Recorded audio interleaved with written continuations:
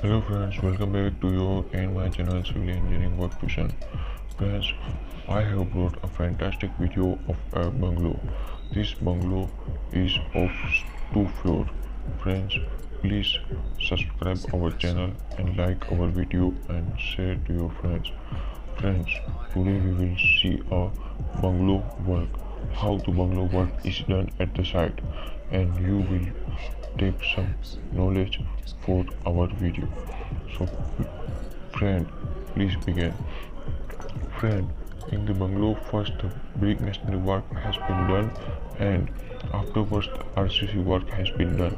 In this bungalow there are no pillar so this bungalow is made for only two floors.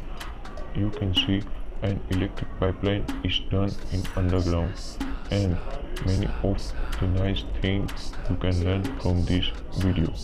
The, this video contains many types of construction works such as brick masonry, electric pipeline fitting, RCC work and many other things. Here we are now on second floor. And you can see that is a toilet bathroom attached.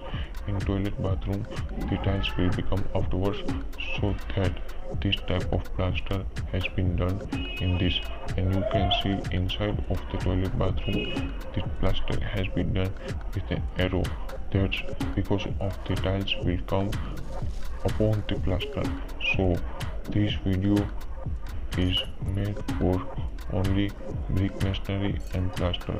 This pipeline, electric pipeline, is underground so after the plaster the pipeline will need no see on the upper part of the room or plaster.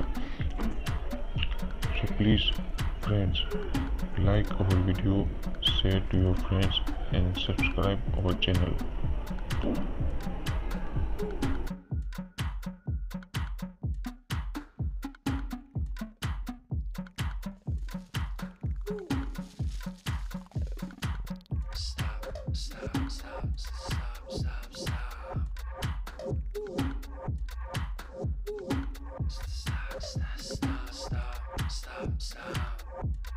stop, stop, stop, stop.